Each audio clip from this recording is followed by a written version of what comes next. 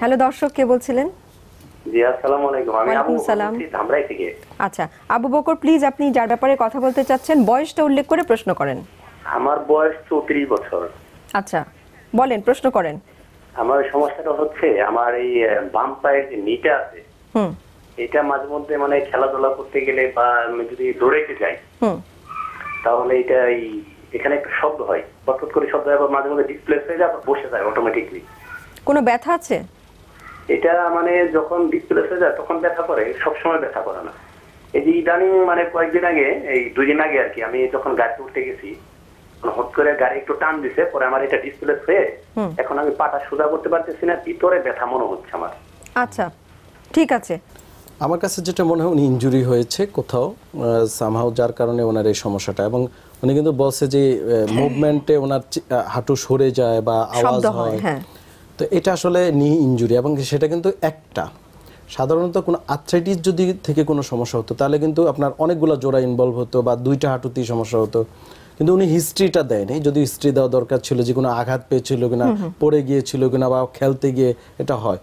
তো এই ক্ষেত্রে আসলে আমরা ম্যানুয়ালি অনেক কিছু অ্যাসেস করতে পারি যেমন অ্যান্টিরিয়র ড্রয়ার টেস্ট বলি আমরা হাঁটুর। আপনার জানেন হাঁটুতে দুইটা ইম্পর্টেন্ট লিগামেন্ট আছে। এই ছবিটা যদি একটু দেখো রুগীও যদি দেখে তাহলে সুবিধা হবে।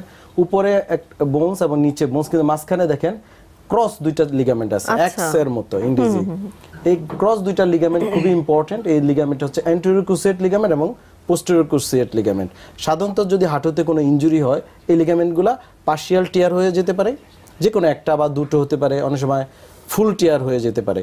আচ্ছা। আবার নিচে দুই হাড়ের মাঝখানে এখানে ওই মিনিসকাস থাকে। আচ্ছা। খুবই ইংরেজি সি অক্ষরের মতো যেটা উপরের হাড় এবং নিচের হাড়কে শক অ্যাবজর্বার হিসাবে কাজ করে কুশন হিসাবে।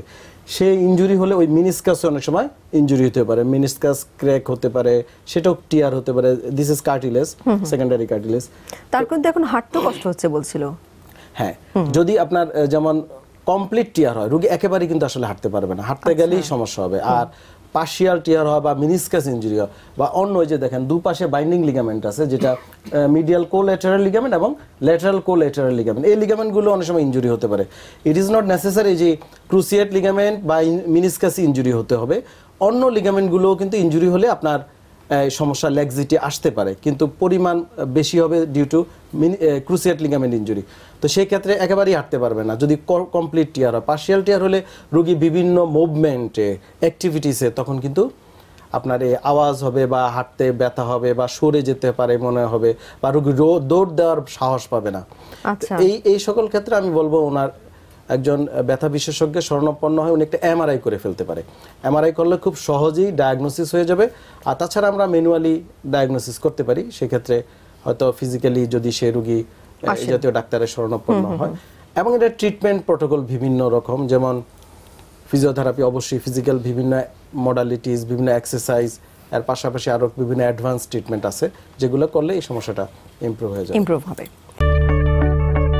আমরা জানি আপনার প্রিয়জন আপনার জন্য কতটা গুরুত্ব বহন করে? প্রপার ডায়াগনোসিস কনসালটেশন পেইন ও প্যারালাইসিস চিকিৎসা পুনর্বাসন আমাদের সব আয়োজনে সব সময় আপনাদের জন্য চব্বিশ ঘণ্টা খোলা। আমরা চাই না আপনারা বারবার আমাদের কাছে ফিরে আসুন তবুও আমরা আছি সব সময় সর্বদা আপনাদের পাশেই। ডিপিআরসি হসপিটাল লিমিটেড আস্থা বিশ্বাস ও নির্ভরতায় অবিচল।